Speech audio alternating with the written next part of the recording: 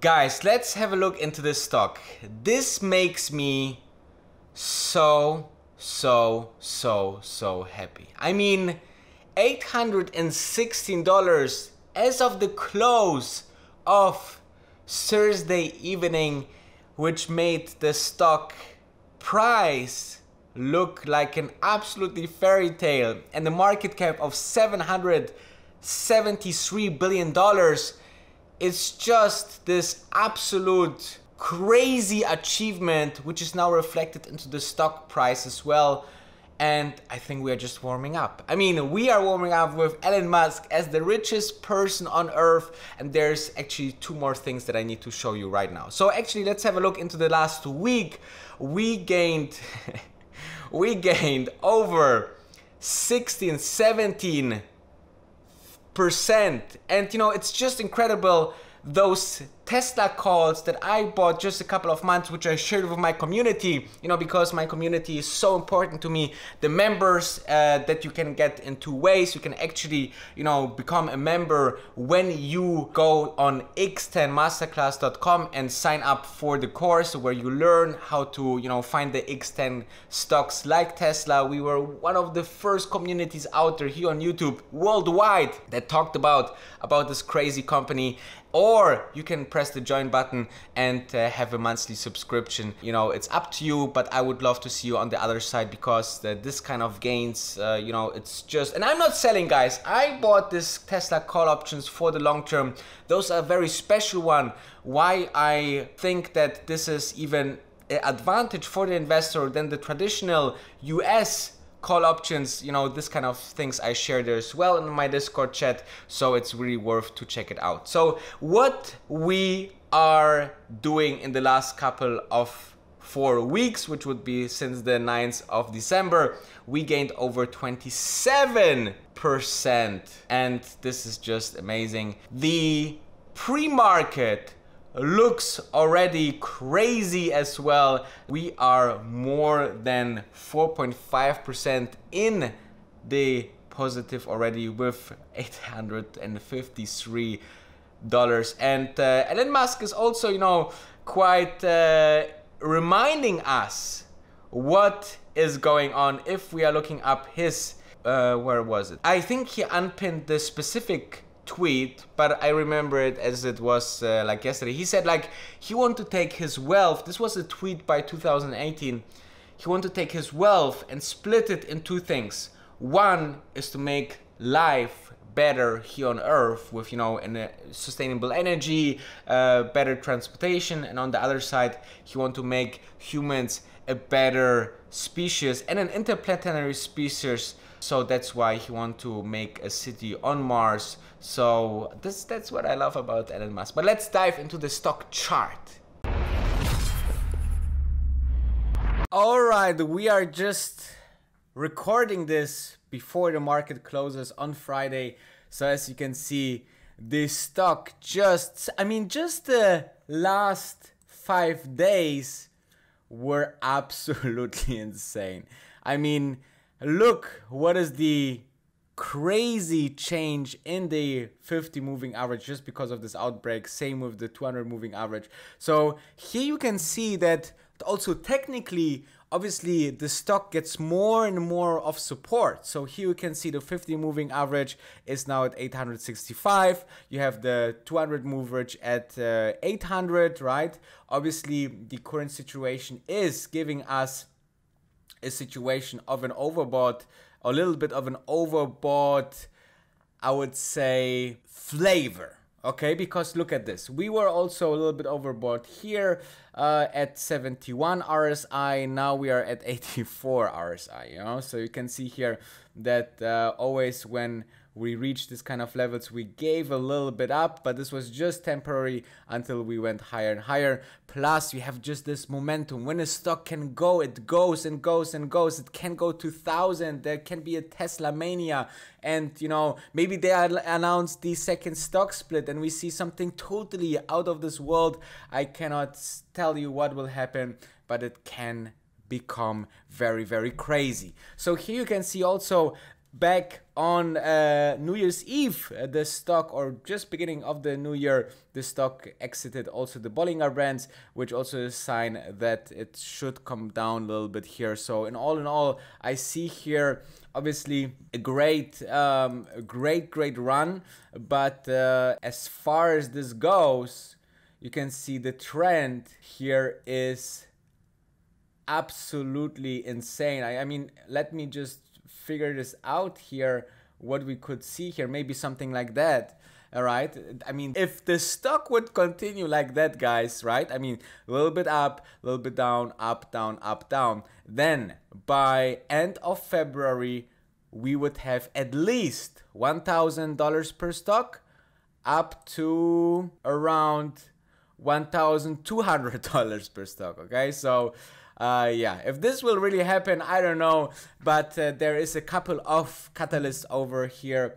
Uh, for the stock as well. This is very important, obviously, right? The numbers, the uh, further guidance for them this year, uh, news about Gigafactory in Germany. What about the Gigafactory in Texas? What about the Gigafactory in China? What about the Cybertruck? What about the semi truck? You know, the the list just goes on and on, and this kind of momentums are really dangerous, especially for the short sellers, obviously.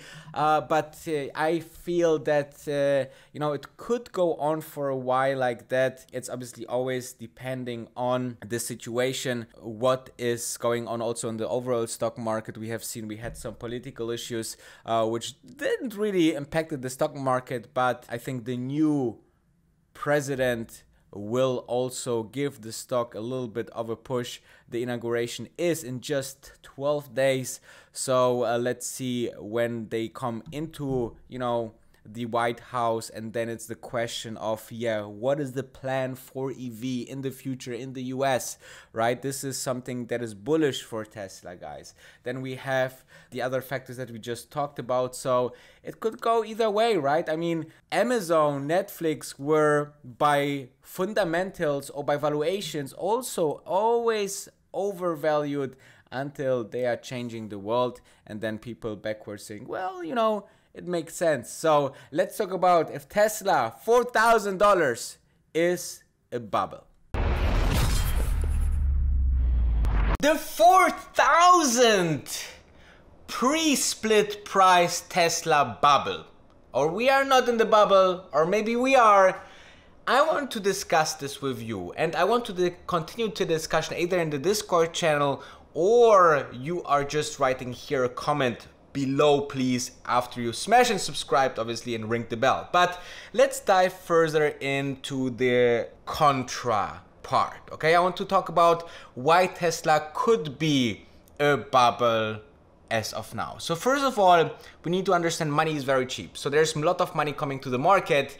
Then the second point, I think there's a lot of new investors that are just hopping on and with the idea and with the mindset, hey, the stock made already 700%, I don't want to lose the next 700%, but they don't interested into the company, they don't interested into the overall fundamental advantage that Tesla has over the long run. But let me show you a clip, which is months, months, months, months ago of Cathie Wood of ARK Invest, who predicted the $4,000 mark.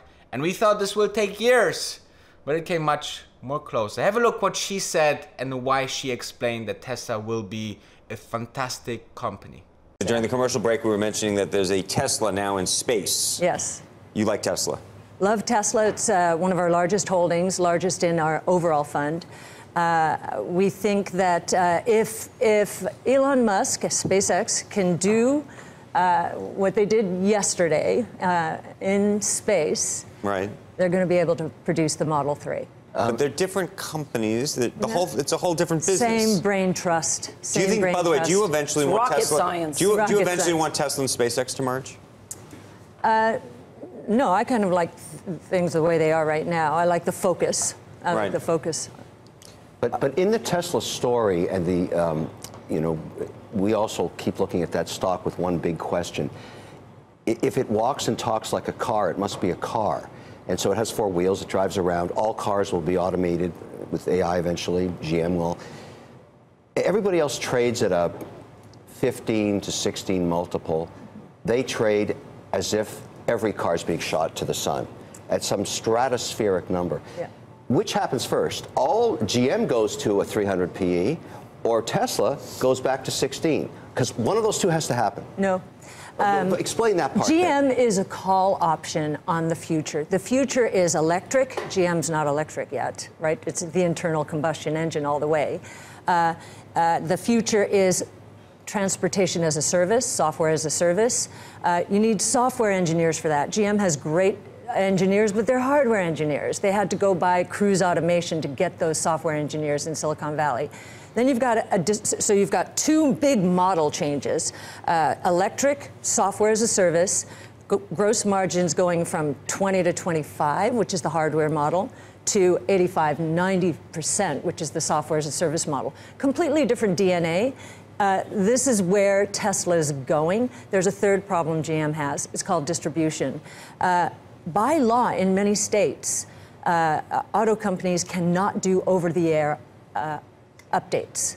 Uh, Tesla has been doing that regularly. It updates, it improves performance, it corrects mistakes, flaws. Uh, GM cannot do that and is really going to have to go maybe through cruise automation and rebuild a company, right? And even if they were allowed to do it by law, how do most uh, uh, dealerships get their uh, profits? It's service. What are these? Is GM going to alienate its dealers? I don't think so. And as you can see, it's very, very much the same what we are saying for months here on this channel, right? We saw it when Tesla was $178 per share and you could, you know, 10x, 15x, almost 20x your money and therefore I'm super excited about the future because I think there's the following arguments that Tesla is not a bubble. First of all, it can become the largest company on earth in terms of revenue, in terms of impact, in terms of the unbelievable innovation in so many areas guys about the power grid about the transportation about the self-driving about you know solar. There's so many ways tesla to succeed and eventually they will succeed in all of this and we were saying the same when they started with the Model 3 and there was so many voices out there. There's still so many voices out there that said Tesla is doomed but they are not. And we are just getting warmed up. So I'm super happy that you joined here on Tesla Sundays and I'm super super super wishing you the best Sunday ever check out x10masterclass.com if you want to continue that and find the next Tesla and don't forget, maybe the next Tesla is Tesla.